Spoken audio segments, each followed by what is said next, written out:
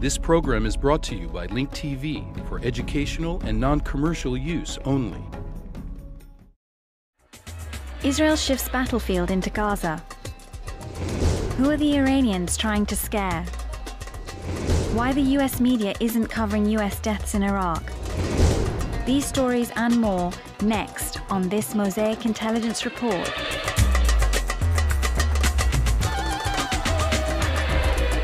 It seems that the battlefield for the Israelis has shifted from Lebanon into Gaza. Many believe that Israeli politicians and generals have been trying to divert the attention away from their failure in Lebanon and turn it into a victory in Gaza. Recently, the idea of separation from Palestinians, both geographically and demographically, has united the far right and the far left in Israel. But how will this separation evolve? Many Arab politicians and commentators fear that the issue of transfer, that is, moving Palestinians from their lands, is becoming more of a reality since the ascent of hardliner Avigdor Lieberman into government alongside Prime Minister Olmert. We are talking about Black Day for the Israeli democracy. Lieberman, fascist number one of the Israeli society of Israel, the parallel of Le Pen and Jörg Haider is being upgraded to the degree of deputy prime minister.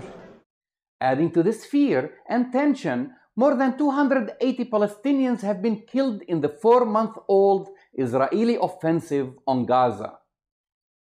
Iran has begun a new chapter of its war games in the Gulf, testing new missiles that can hit deep into Israel.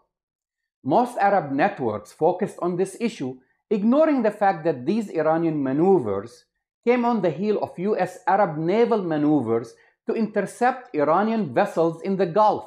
One wonders who the Iranians are trying to scare their neighbors, the Americans, or the Israelis.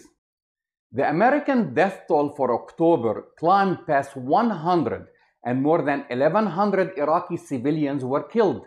This grim milestone marks the highest death toll in one month since March 2006.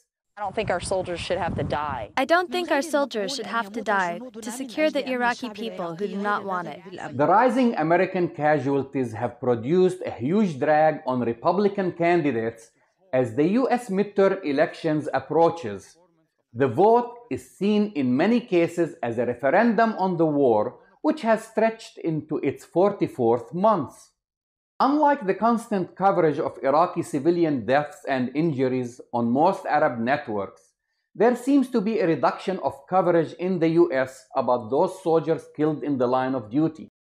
I wonder if the media showed footage of actual US military deaths in Iraq. Would this reduce some of the public numbness? I'm Jamal Dajani for Mosaic Intelligence Report.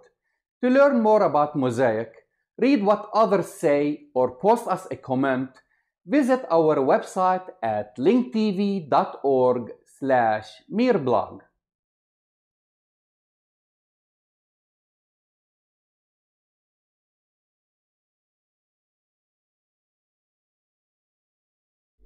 This program was brought to you by Link TV for educational and non commercial use only.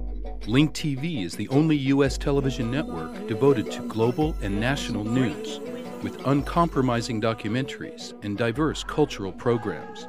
Programs which connect you to the world.